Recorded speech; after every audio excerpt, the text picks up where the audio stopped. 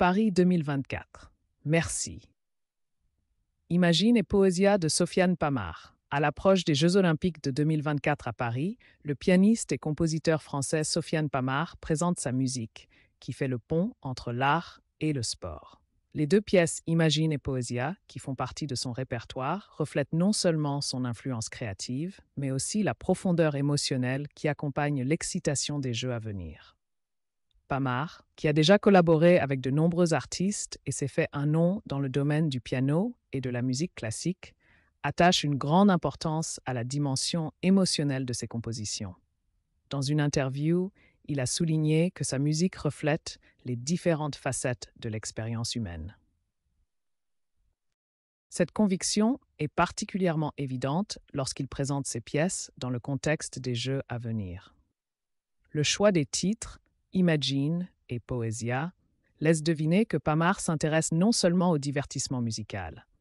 Il souhaite inciter les auditeurs à réfléchir à la signification des Jeux olympiques. Il a réfléchi au fait que le sport n'est pas seulement un défi physique, mais aussi une source d'inspiration pour des personnes de tous horizons. Les Jeux à Paris mettent un accent particulier sur la solidarité et l'amitié des valeurs qui sont magnifiquement soulignées par sa musique. L'intégration de ses compositions dans l'ambiance de l'événement olympique crée une symbiose entre l'art et le sport, quelque chose qui tient particulièrement à cœur à Pamard.